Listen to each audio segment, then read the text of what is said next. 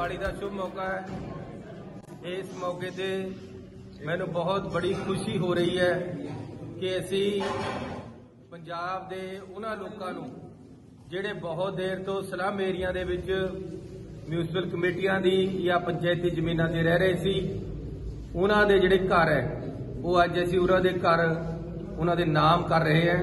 ਬਸੇਰਾ scheme ਦੇ ਤਹਿਤ ਚਮਕੌਰ ਸਾਹਿਬ ਦੇ ਵਿੱਚ ਅੱਜ ਮੈਂ 300 ਪਰਿਵਾਰਾਂ ਨੂੰ ਸਨਦਾਂ ਦਿੱਤੀਆਂ ਉਹਨਾਂ ਦੇ ਘਰ, ਉਹਨਾਂ ਦੇ ਨਾਮ ਕਰਕੇ। ਮੈਨੂੰ ਬੜੀ ਖੁਸ਼ੀ ਮਿਲ ਰਹੀ ਹੈ ਕਿ ਇੱਕ ਗਰੀਬ ਜਿਹੜੇ ਦੇ ਹਮੇਸ਼ਾ ਤਲਵਾਰ ਲਟਕੀ ਰਹਿੰਦੀ ਸੀ ਕਿ ਸਾਡੀ ਜ਼ਮੀਨ ਹੈ ਜਿਹੜੀ ਸਾਡੇ ਨਾਮ ਨਹੀਂ ਹੈ, ਸਾਡਾ ਘਰ ਸਾਡੇ ਨਾਮ ਨਹੀਂ ਹੈ। ਹਾਲਾਂਕਿ ਉਹ 50-50 ਸਾਲਾਂ ਤੋਂ ਬਸ ਰਹੇ ਹੈ। ਉਹਨਾਂ ਦੇ ਘਰ ਹੈ ਜਿਹੜੇ ਉਹਨਾਂ ਦੇ ਨਾਮ ਕਰਕੇ ਮੈਨੂੰ ਅੱਜ ਬਹੁਤ-ਬਹੁਤ ਖੁਸ਼ੀ ਮਿਲ ਰਹੀ ਹੈ ਤੇ ਮੈਂ ਮੁਬਾਰਕਬਾਦ ਦਿੰਦਾ ਉਹਨਾਂ ਸਾਰੇ ਲੋਕਾਂ ਨੂੰ ਜਿਨ੍ਹਾਂ ਦੇ ਘਰ ਅੱਜ ਉਹਨਾਂ ਦੇ ਨਾਮ ਹੋ ਰਹੇ ਹੈ। ਚਮਕੌਰ ਸਾਹਿਬ ਦੇ ਵਿੱਚ ਬਗਾਲਾ ਬਸਤੀ ਹੈ ਜਿਹੜੀ ਉਹਦੇ 'ਚ 300 ਪਰਿਵਾਰ ਰਹਿੰਦਾ ਉਹਨਾਂ ਦੇ ਘਰ ਉਹਨਾਂ ਦੇ ਨਾਮ ਨਹੀਂ ਸੀ। ਅੱਜ ਅਸੀਂ ਉਹਨਾਂ ਨੂੰ ਸਨਦਾ ਜਾਰੀ ਕਰ ਦਿੱਤੀਆਂ।